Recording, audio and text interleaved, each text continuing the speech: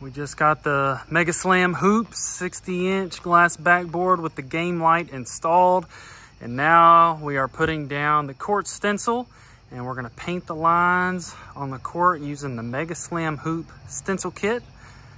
And I'm gonna show the install and the review coming right up.